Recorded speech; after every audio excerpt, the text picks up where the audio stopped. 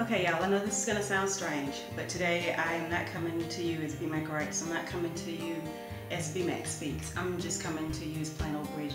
I'm coming to you and I'm talking to you all from the heart. Um, and I want to talk to you all about why I'm quitting. Uh, why BMackWrites is quitting. It's just something that I need to stop doing and it's something that it's hurting me and it's no longer worth it. So I quit. Today, I choose to quit allowing people get inside my head.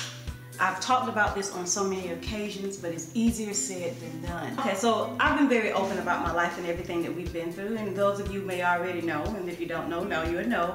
Uh, it's going on five years since my little sister passed away. And I'll never forget this because at her funeral, I had the extreme honor of writing and reciting a poem in her memory. But literally, as we're walking out the church, casket is in front of us and the family is going out of the church. I'm standing outside and I'm looking at the hearse and they're putting her casket. Still can see her name on the casket. I'm just that close. Putting it in there. And one of the pastors came up to me and he said, you know, that was a wonderful poem. He said, let me ask you something. Are you a lawyer? For a split second, I was like, wow, lawyer. And I was like, no, actually, I'm, I'm a writer. I'm a poet. I'm a blogger. And he quickly said, oh, I'm sorry, I thought you were accomplished. And he walked away. And I was like, did he just, did he just insult me at my sister's funeral? Huh. Huh. But I couldn't get offended about that right then. I had to wait. I said, I'm gonna have to get offended by that tomorrow because I'm at my sister's funeral, so I need to go and do the mourning thing. so I decided to just, you know, push that off. I'm gonna suck that up. But later on, I thought about that thing and I was like, wow, I thought you were accomplished. I thought, well, you accomplished. And for every single time I was working, I was in Mojo, I was writing, Satan would come in with those words. Well, he was prominent. Well, he knows. And he didn't think you were accomplished. What are you doing all this for? Why are you working so hard? You will never make it. You'll never succeed. You're not good enough. You're not worth it. They don't care what you're saying. They don't care what you're doing. And a lot of you are going through the exact same thing. A lot of you are working on your businesses. A lot of you want to go back to school. A lot of you are working in ministry. A lot of you are working on your families. A lot of you are on your careers and on your jobs, trying your best to just push forward. But all of those thoughts, all of those thoughts of doubt come up in your mind. And you be like, I'm not, I don't know if I can do this. I don't know. And you always have those imps that are around you that's questioning whether or not you're capable or whether or not you're qualified or whether or not you'll ever make it. Don't let those people get in your head. Choose today that you are going to quit. Today is the last day you're going to allow the naysayers to get in your head. I had someone come up this week and say something that was negative and it was hurtful because this is this person was supposed to be close to me. But then how do many of you know that the enemy is going to use those that are closest to you to bring you down? A lot of times they may not even mean it. I know a lot of my family, they didn't mean it, but they would joke all the time. Bridget ain't got no job. All she does is play on the computer.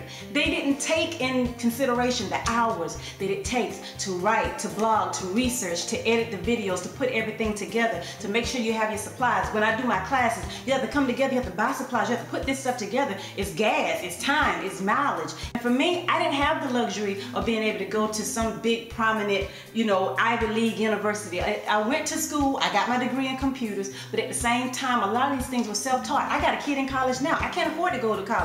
So in a lot of the things that I'm learning and doing now, this is me taking up extra courses. This is me doing a lot of research. This is the Holy Spirit downloading in me, helping me to do the research that I need. A lot of putting people in my path that's going to pour into me. But someone else will always come along and say, you're just a cheeseburger. I'm looking for steak. And for the longest, that got in my head. Until one day, God said, I never called for you to be a cheeseburger. I never called for you to be a steak because your worth is far beyond rubies. I'm a jewel. You're a jewel. You are worth more than the mediocre level that they're trying to put you on. So don't you dare give up. Don't you dare allow them to get in your head. If God called you to it, He will see you through it. He will see you through it. And yes, it's going to get hard, but to whom much is given, much is required. If it's worth having, then it's worth working for. No matter what you do, you keep holding on. You keep keeping the faith. If God called you to do this, then no matter what, He's going to see you through it. And a lot of times it takes longer. My walk is going to be a little longer than uh, the next person. My walk may be a little shorter than the next person. Don't Don't put yourself up against the next person and compare your success with theirs because God has your own harvest in your own time.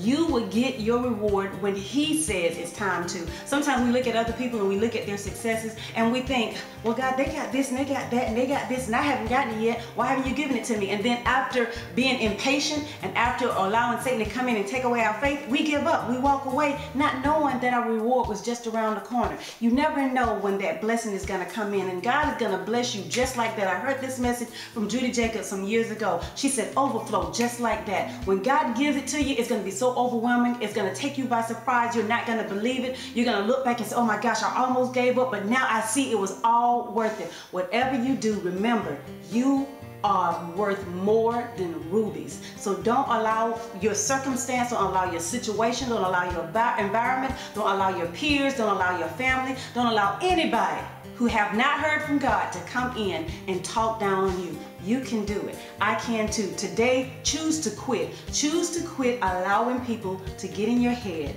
you are a child of the King, and no weapon formed against you shall prosper. What is yours is yours. If you want to make that business succeed, then go hard for it. If you want to go back to school, then baby, do it. If you want to continue to work in ministry, then you go ahead and do it. If you want to stay home and just focus on your family, don't worry about what they're saying. You do it. Whatever God has called you to do, do it. Quit allowing the naysayers to get in your head. This has been Bridget, and I hope this has been a blessing for you all. Have a great day. Bye-bye.